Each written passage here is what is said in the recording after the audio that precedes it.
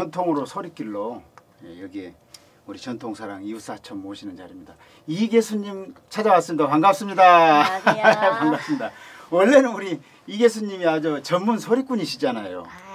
어때요? 그동안에 우리 이계수님 그 소리로 살아오신 그 지난 세월들이 벌써 손으로 꼽으면 몇 손가락 꼽아지죠.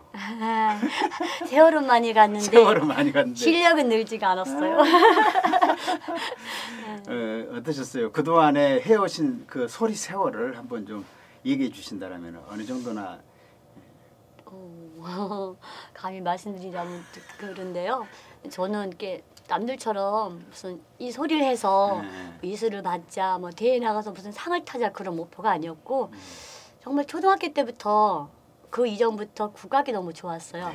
한복 입는 게 너무 좋았고 음, 그랬는데 학원은 없고 하니까 그냥 자창으로 했었어요. 음, 초등학교 때 자창하고 막 하니까 선생님들이 그냥 신기하니까 배우지도 않은 애가 저렇게 하네? 하면서 너 꿈이 뭐냐면 저는 판소리라는 말도 몰랐고 그냥 국악인이란 말도 몰랐어요. 그냥 소리하는 여자가 되고 싶어요. 그래서 연극도 좋아해가지고 연극하면서 소리하고 싶어요가 강의 희망이었었어요. 초등학교 때부터 선생님들이 하신 말씀이 너는 꼭 할 것이다 라는 말을 시- 이렇게 자신감을 주셨어요. 그래서 못하지만 자꾸 이렇게 하게 때막 시키시고 그게 돼가지고 예, 우리 이계수님 고향은 어느 쪽이셨어요? 경기도 포천이 야 경기도 포천에 그 꼬맹이가 말하자면 네. 초등학교 때 판소리라는 판자도 모르고 네. 예, 우리 창극이라는 것도 모르고 그런 시절에 네. 우리 소리가 그저 좋아가지고 막 따라서 해봤다는 거 아니에요? 예, 그래서 그때 주변에서 들리는 소리는 좀 있었어요? 어떤 판소리라든가 뭐 이런 국악하는 소리는 좀 있었어요? 저는 저의 그 공연 무대가 무학이었어요. 굿땅. 아, 시골에서는 아. 병원이 없으니까 하도 산골이니까 누가 아파하면은 단골레가 오세요. 뭐그 성음이 있잖아요. 그래서 아이들끼리 놀면은 노는 게 그거였어요. 네. 냄비 뚜껑 갖고 두들기면서 놀고 그래서 그걸 다 외웠던 것 같아요. 꼬마 때. 그래서 저는 남들보다 이렇게 전문적인 판소리 학원을 일찍 다니지 않았지만 그렇게 이렇게 무대를 익혔던 것 같아요. 그러니까 타고난 애인이에요, 그게요.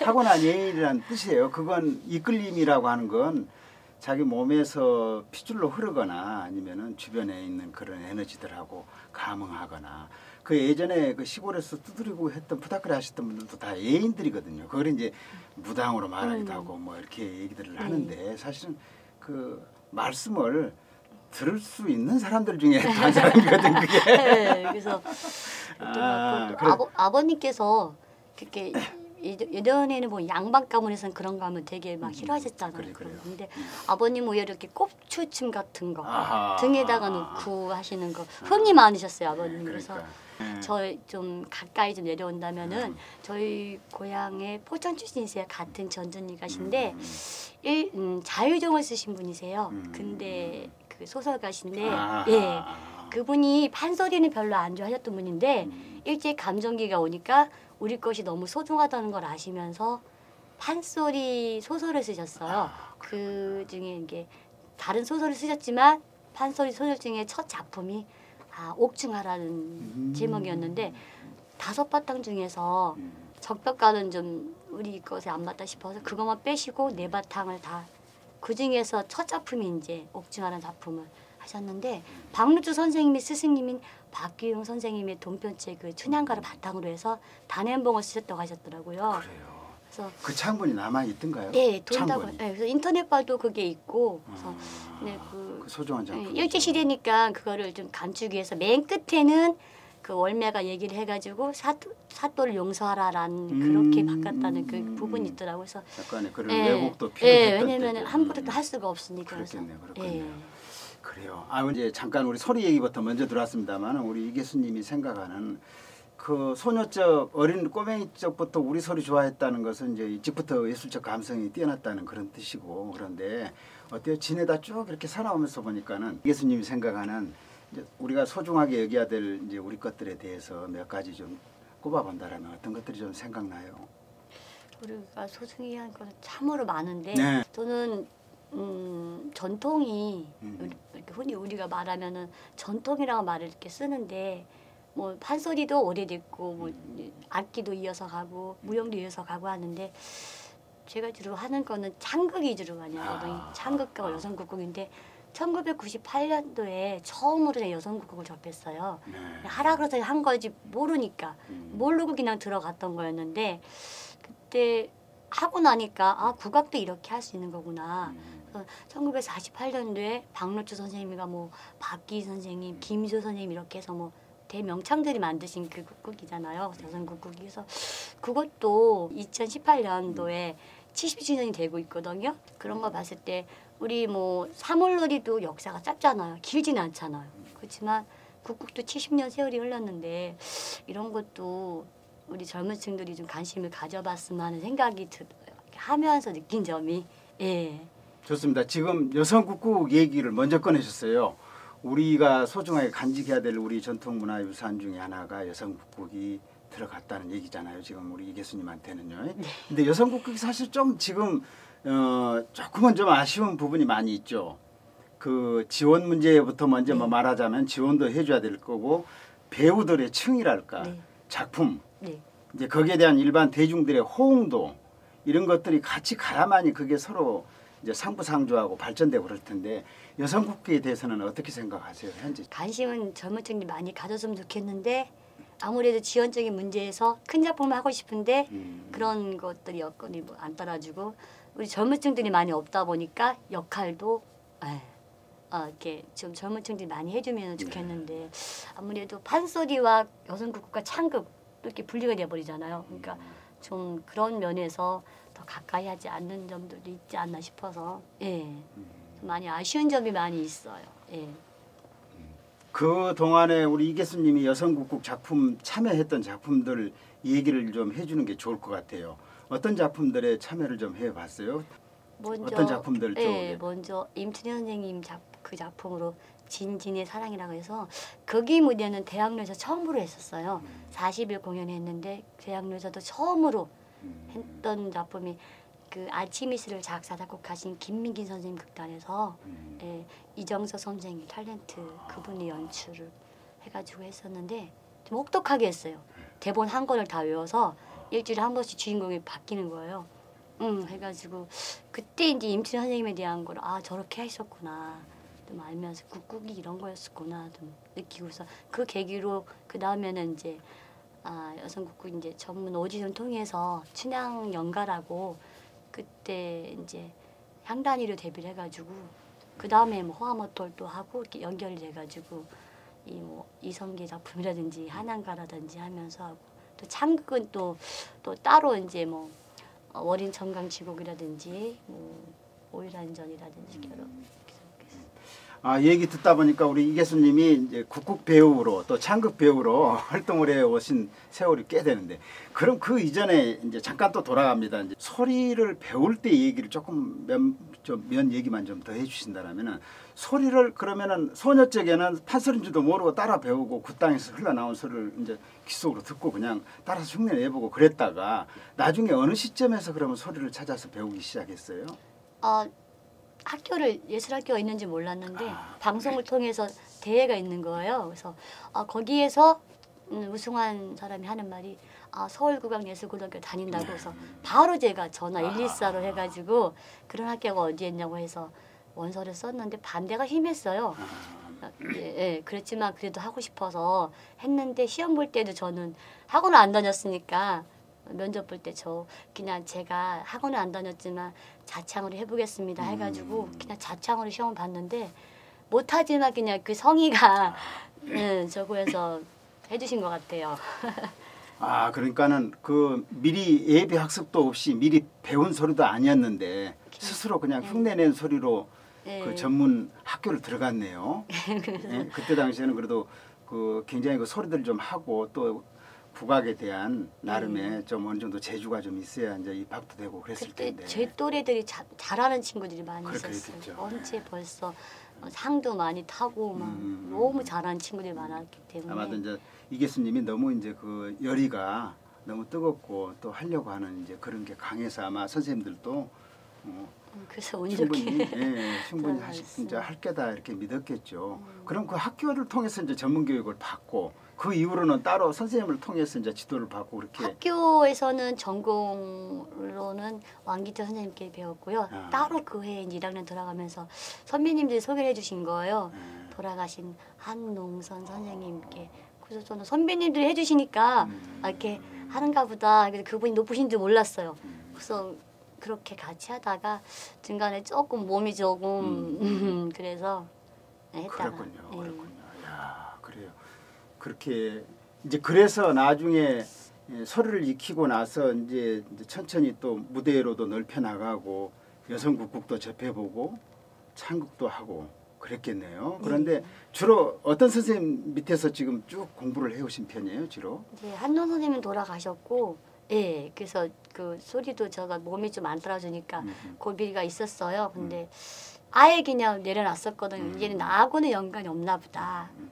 그래서 했는데 스님이 또 어떻게 연결해 주셔가지고 이육철 선생님을 연결해 주신 아, 거예요 그래서 네.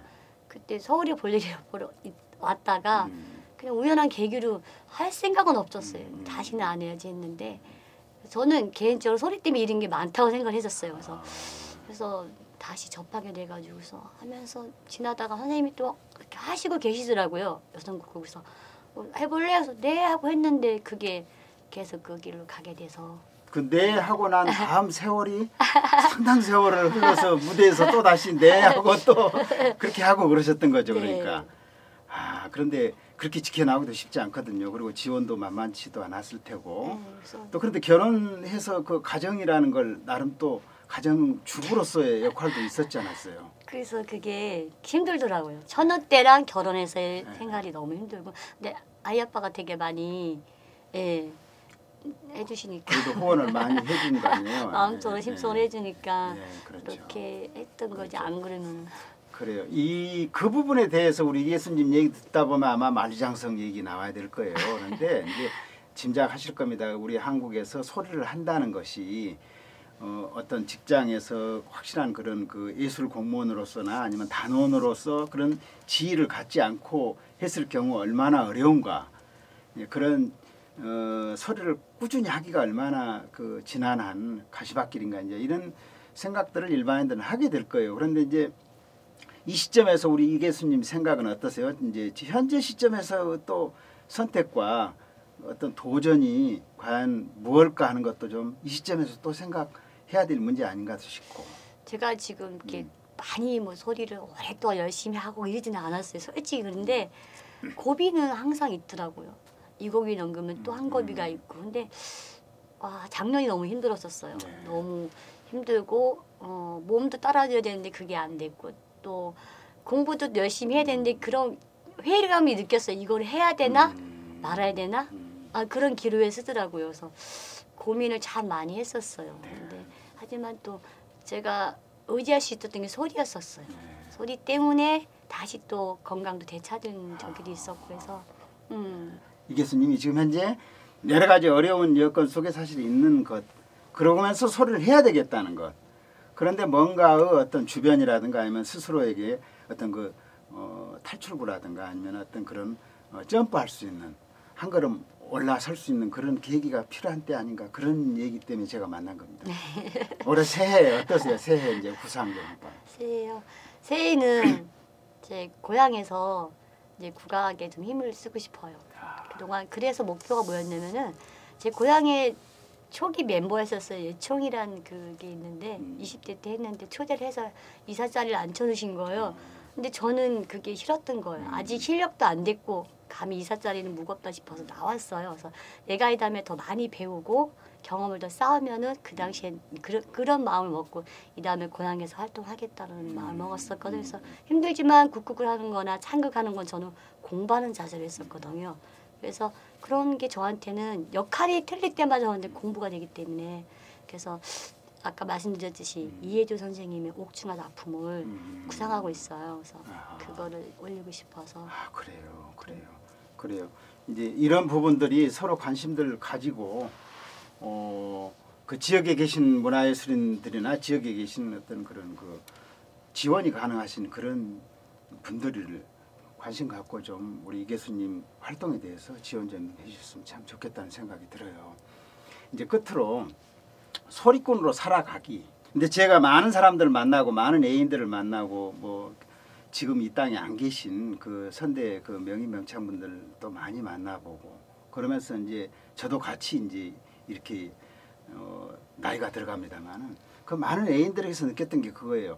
내 마음은 변함없는데 이게 이제 그렇게 자꾸 세상이 음. 어, 밖으로부터 오는 바람이 흔- 나를 흔들리게 하고 또 그게 힘들게 하고 예. 그래서 내 마음 자체도 나이가 들어가면서 변하게 되기도 하고 아니면 내 스스로가 그걸 못 견뎌 가지고 그 아픔 속에 빠지기도 하고 막 그러거든요. 근데 우리 이계수님 같은 경우는 어때요? 몸도 도와줘야 될 거고 선생님도 도와줘야 될 거고 주변에 있는 그 여러분이 좀 도와줘야 되는 그런 여건이 필요하지 않나도 싶어요. 내 생각 하나만 갖고도 되는 것도 아니고 그런데 어떠세요? 이 소리꾼으로 살아가기 그 각오는 어떻게 되 계세요? 제일 어려운 질문인데. 네, 말씀하셨듯이 다 그게 예, 예, 예, 따라줘야 될 거라는 생각이. 들고요. 예. 예. 일단은 첫째 중요한 게 가정이더라고요. 가정이. 예. 남편이 못해 하면은 못하는 거거든요. 예. 예, 그래서 예, 그래서 하다가도 어 내가 안 되지 네. 아이 엄마인데 하다가도 네, 그만둬야지 접었다가도 힘든 고비 넘기면 또 아이 아빠가 또 다독거려주고 음, 그런 그렇죠. 점에서 많이 감사하는 것 그렇죠. 예. 그래서 그 우리 사회 전문직에 계셨던 그런 전문직에 일하던 그런 그 여성분들이 결혼과 함께 그 자기의 그런 전문 직종을 단절시켜야 되고 또 포기해야 되고 하는 그런 아픈 사례들이 많잖아요. 네. 그래서 육아 가사에 매달릴 수밖에 없고 그래서 내가 왜 사는가를 조금 더 세월이 흐른 다음에 굉장히 고민을 많이 하고 근데 아마 우리 이계수님은 초등학교 때부터 꿈꿨던 그 소리하는 사람으로서의 그건 평생 가야 되지 않을까 하는 생각이 들어요. 저도 항상 옆에 지켜보면서 큰 힘이 돼주지 못해가지고 안타까운 마음을 항상 갖고 있습니다. 그래서 이제 아, 언젠가 한번 같이 좀 얘기 좀 나눠봤으면 하는 거고 올해 그러면 신년에 조금 여러 가지 어렵지만은 그래도 열심히 좀 그 소리길 가시는 걸로 저희들이 믿고 네. 같이 우리 이계수님 소리길에 박수를 좀 쳐드려야 되겠습니다. 감사합니다. 네, 그래요.